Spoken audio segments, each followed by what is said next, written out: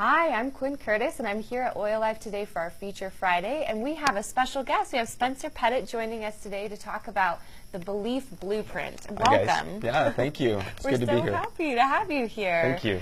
Yeah, and um, for those of you that were watching, he had an amazing workshop last night on this amazing content too that I was so impressed by. Um, and I was, you know, as somebody who's growing a business as well, I was thinking like, oh, I've got to share this with my team. So we're excited to share this with you and tell you a little bit more about what the Belief Blueprint is and why it matters and how it can really support you, especially in creating the kind of life that you desire and the business success that you're looking for. Um, but before we go there, I wanted to mention Spencer has so generously offered that one lucky person who comments below this video right now is going to be able to get their own copy of the Belief Blueprint book right now. So we'll um, be picking a lucky winner at that point. Um, so be sure to comment below during the video and be sure to ask any questions as well. We're happy to answer any questions in real time. Um, and then also know that we have a really cool discount that we'll be sharing with you at the end of the video um, for you to be able to get this book for you and a friend or you and someone on your team. So be sure to stay tuned for that. But Spencer, tell us a little bit more about what the Belief Blueprint really is and why it matters. Happy to. So, uh, personally, I, I uh, have been growing a business for the last five years, and there came a time just in the first few months where I realized that I was running out of, of people to talk to. I was running out of, of leads, and all this stuff was going down, and I was just really like not feeling it. And I went and spoke with my mentor, and she actually said, "What you really need to do is to work on your belief. You need to work on your confidence." And I thought, well, I, I've always been a confident person, and I wouldn't be here if I didn't believe that I could do this. Yeah. And she said, what you simply need is you need to keep working on it. You need to do the things that will help grow your belief. And that started the journey towards what finally became the Belief Blueprint. I'm a marketing guy uh, by training. I graduated from college in business, and uh, you know, this a lot of the things that we do, uh, for example, uh, with essential oils or or with nutrition or exercise in the business that we have. Um, it's, uh, as good as all that is, my heart is still very much in, in explaining concepts and developing things. And so what happened is that I started with a very simple idea of the process of building belief, and it developed into a machine that actually leverages all of the hope that you have into unbreakable confidence. And That's powerful. That's worth repeating. Leveraging the hope you have Mm-hmm. to create unbreakable confidence. Well, and here's the, the, coo- Powerful. the coolest thing about the Belief Yeah. Blueprint is that you already use it. All I'm doing is I'm finally outlining it for people in a really clear way. The the thing about it is it's, it's brilliantly simple. It's just it's so simple that people look at it and they immediately go, "Oh my gosh, I totally understand this." And then once you understand it, you can put it to work for you. Hmm. And it can start to change your beliefs. You can actually start to get away from the ones that are holding you back and work on the ones that you want to develop. And you can really go for the things that you want to. You can take all of those hopes that you have and over a period of time, short or long or wherever, whatever's the right pace for you, mm-hmm. turn it into something that you are absolutely confident in. That's a really powerful claim, and I'm s- I love it. I'm so excited, and I think that um, it would help everybody watching if you maybe defined a little bit what you mean by hope, because I think that what Yeah. your definition is is a lot stronger than what we're used to. Yeah, so um, one of the things that was frustrating to me the most is that people were always talking about finding your why. and it was always like, ah, you got to find your why, you got to find your why. And at one point along the way, I told my mentor, the same mentor that inspired me to start down this path, I told the same mentor, I'm going to crack the nut. I'm going to figure out where it is that somebody finally comes alive. I want to figure this out. And I knew that it had something to do with the why, but what I found out is that when most people are talking about their whys, they're actually talking about their whats. Wow. Now, when I say they're what, let me be really clear. Is they're talking about physical goals. I want money. I want to lose weight. Um, I want a house. I want a car. I want financial freedom or time freedom. All of those things are very much like physical goals. Mm-hmm. And when people say that that's their why, or even better, sometimes people will even say that their why is someone else, or another group. A really mm. popular one is just maybe their kids or their family. Yeah. While all those things are very motivating, your why is not a physical goal. And I know a lot of people are sitting here going, "Oh my gosh, th- this is, is this is heresy." You know, I've, I've been taught so many different things. Right, what we right. discovered is that there's actually a deeper thing, and this is just semantics. Okay, so people get really caught up on this, but your why is actually the deep emotions that you have trained throughout your life, all of the experiences that you've had that has shaped who you've become and have shown what you really believe. And whether it's true or not, it doesn't have to be true. The stories that are being told between your left and right ears are true to you. Yeah. Okay? And so there's a lot of confusion about what it is that really motivates you, but y- all of you know that either you personally or someone who you work with has lost motivation along the way. Yeah. Maybe you've lost that motivation. Maybe you feel stuck. And the truth is, it's probably because your why wasn't strong enough. Some people are like, you know what? I'm good not having the financial freedom, or I'm good not having that house, or whatever it was that was on that vision board. Yeah. We fill our vision boards with all these images of these of these what's, these goals. Mm-hmm. The truth is, is that they all represent um, things that we feel like will fill those deep unmet needs that mm-hmm. are the actual emotional drivers that push us forward. So, yeah, you'll discover w- what you're supposed to be doing along the way. You'll mm-hmm. discover all of the greatness that's ahead of you as you move forward. But in the Belief Blueprint, I uncover how to dig down through the layers. That's why actually on the cover there's a paper Yeah. tear that pulls it back. It's like we're pulling back the layers here to uncover the your belief blueprint, and and so what it represents is is this this uh, process of getting down through the layers, like peeling the onion, and getting down to the real core raw emotions that make you do what you do. You can just ask my wife. She didn't marry me because um, of logic. right? She, she didn't look at my resume and say, Right. you know what, this this guy's actually he meets all the criteria. Yeah. Instead, at the end of the day, she she was she decided to marry me because of how she felt. You know, and and that's we make all the decisions based on how we feel. So we have to acknowledge that we're emotional creatures and that we make decisions based on what we believe, and that's based on, all on emotion and feeling. There's no other way around it. Yeah. And so um, we have to learn how to shape that. And that's what this machine that I've outlined, a very simple machine, outlines how to build belief. It's so powerful. And I know that for those of you listening, you're probably wondering, like, well, what would this actually look like in action? Is there an, an example you could give of maybe like somebody's belief that you worked with that, like, where it was when it was a what, because they most often are, and then how it could evolve to get to this heartfelt point that you're describing? Yeah. So uh, a good friend of mine uh, who actually became friends with after we went initially through this finding your why exercise that's in the first few chapters of the book.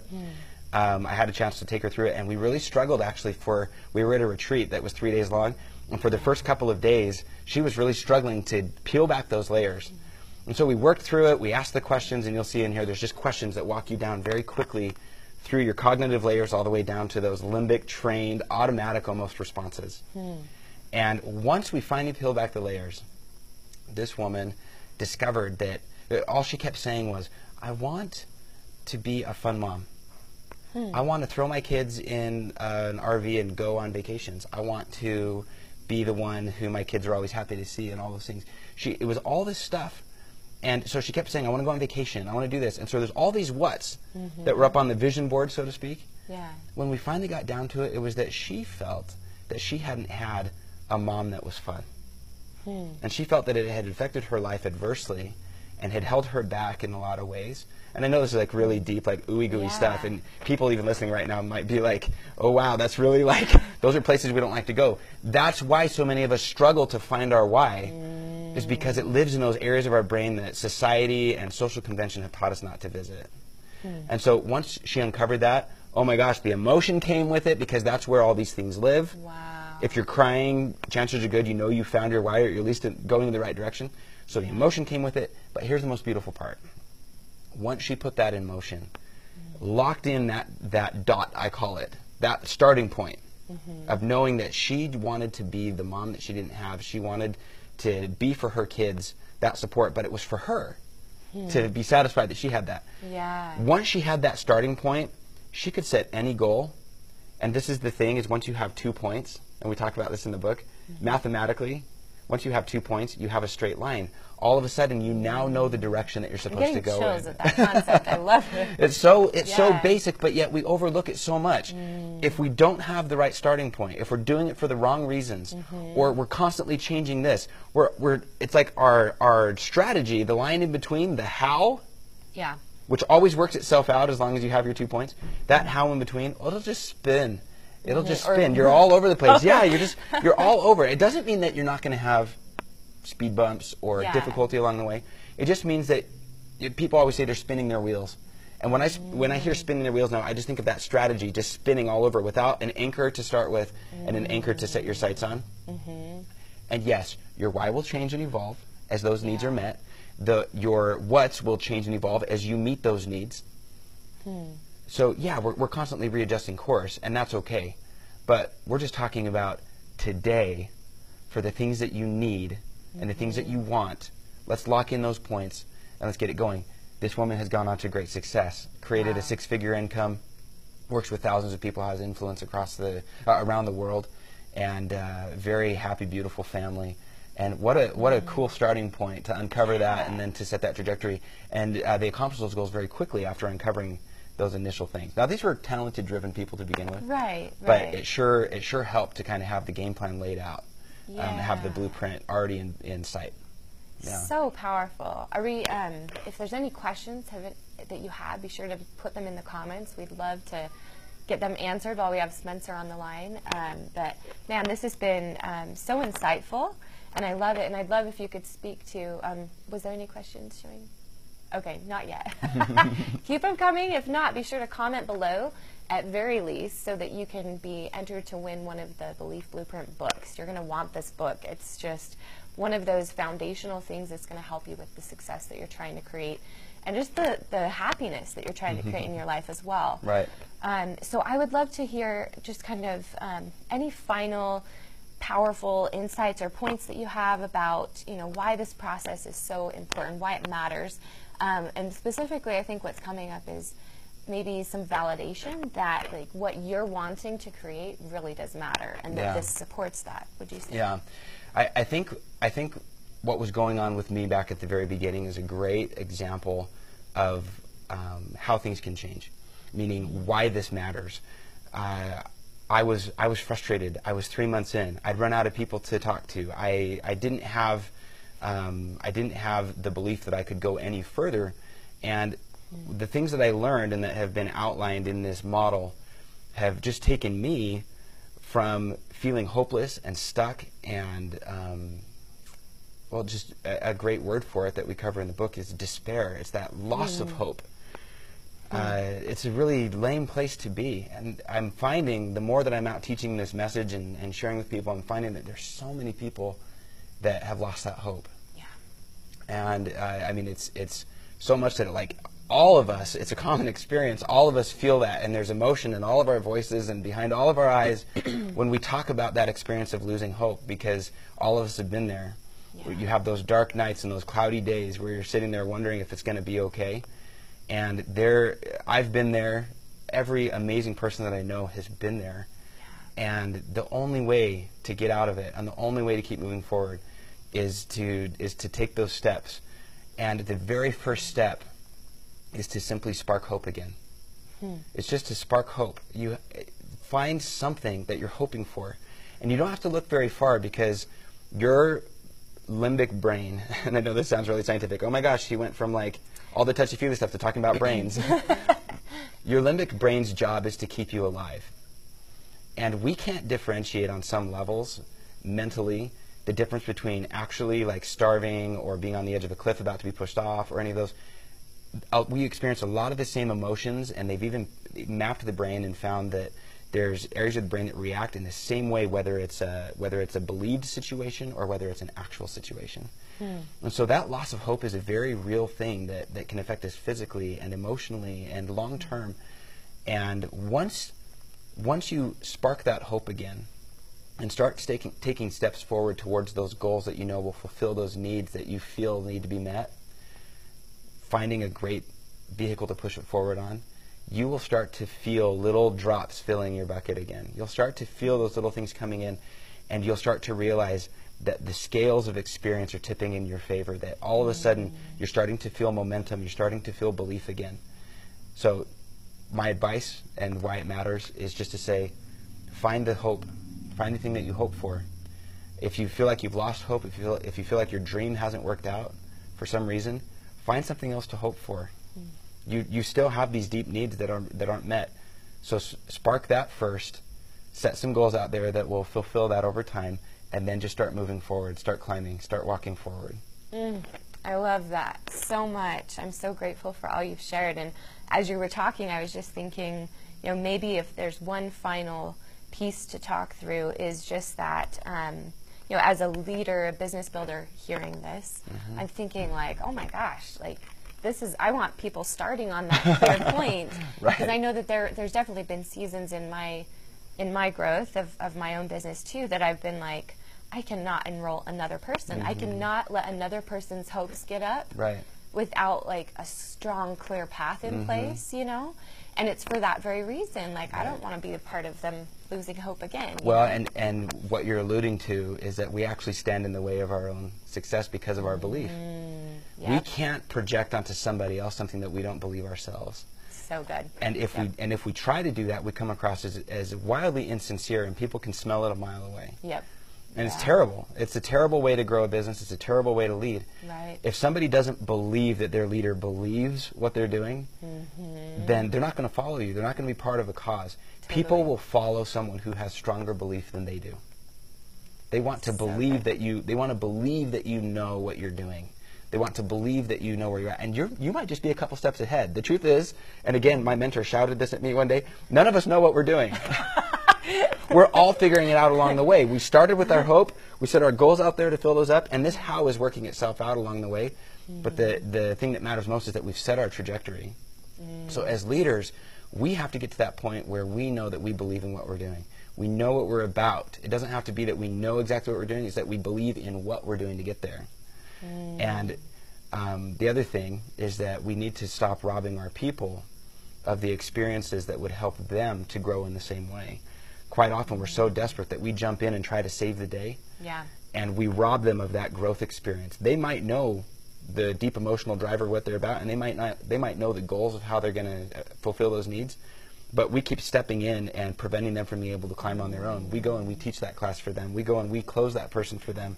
We go and we resolve that concern instead of putting it in their hands. Instead of having them do the trainings, instead of having them step up, we step in to be the smartest person in the room or whatever it is, and it, it might even be fulfilling our own needs, which is why we're doing that.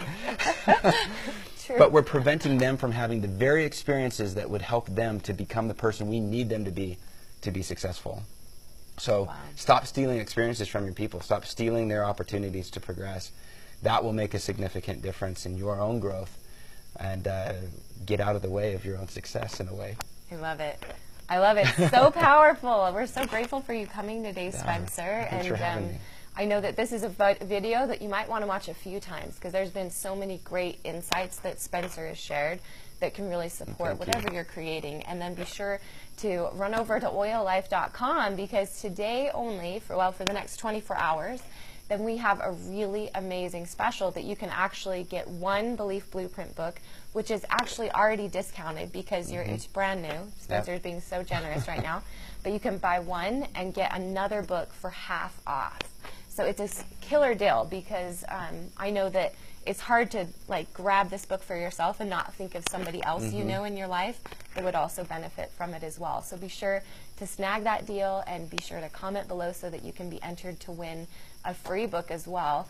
And um, Yeah, one, one other thing that I would throw out is, is if any of you have found this to be interesting, or after you've read the book, if you think it's interesting, um, I would love for any groups of 10 or more, uh, if you're interested in reaching out to me uh, either through Oil Life or to me directly, you're welcome to find me online on social media.